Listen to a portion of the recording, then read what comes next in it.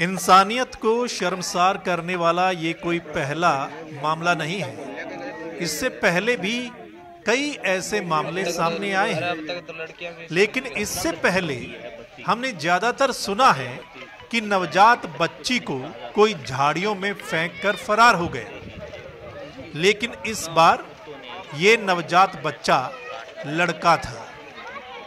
जिसे कोई फतेहाबाद शहर की भाटिया कॉलोनी की झाड़ियों में फेंक गया और बच्चे को जानवर तक नोच खा गए। अब ये तो पुलिस की तहकीकात के बाद ही पता चलेगा कि इस बच्चे को उसकी माँ यहाँ रख कर चली गई या फिर मामला कुछ और है। उस बच्चे को यहाँ खेलने आए कुछ बच्चों ने ही देखा तो लोगों को बताया, लोग यहाँ जमा हो गए और पुलिस को इतला दी गई। लेकिन इस बच्चे का कसूर क्या था?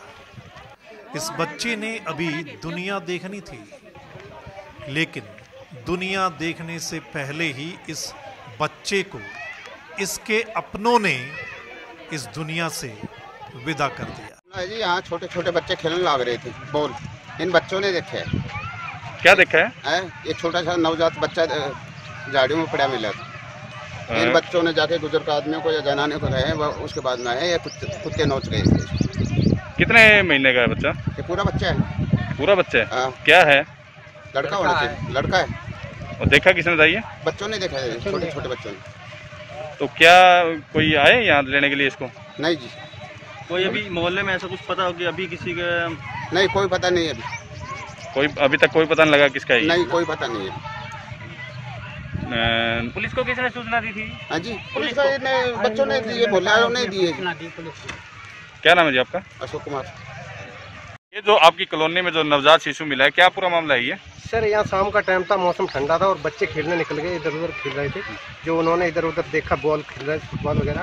तो उन्होंने देखा तो यहाँ बच्चा पड़ा हुआ फिर एक दो बंदों को इधर उधर बताया तो शराबा मचाया तो फिर इधर से पब्लिक सारे लोग कॉलोनी वासी आगे इकट्ठे होते तब जाके उन्होंने फिर इन्फॉर्मेशन पुलिस को दी और पत्रकार भाइयों से फ़ोन करके बुलाया तब जाके भी तो अभी तक कोई पता लगा है अभी किसका है? नहीं सर अभी तो ऐसा कुछ नहीं पता लगा। कब डाल के गए थे बच्चे को? ये तो जी पता नहीं अभी बच्चों ने देखा ये लग रहा है कि एक आधे दिन का है। ताज़ा ही कितना बड़ा है बच्चा? बच्चा बस जी हाल ही पूरे दिन में पूरा ही है जी नौ महीने से कम का नहीं है जी बच्चा तो वेट के हिसाब से देखा जाए तो। अभी तक कोई पता नहीं लगा है। नहीं जी और कोई सुराग नहीं है अभी पुलिस को कर पुलिस को इन्फॉर्मेशन दे दी? बिल्कुल जी पुलिस आप पहुँची है पुलिस की इसकी इन्फॉर्मेशन कर रही है जी तब तक आ गई है पुलिस? हाँ जी सर ठीक है। क्या नाम आपका? मुकेश कुमार।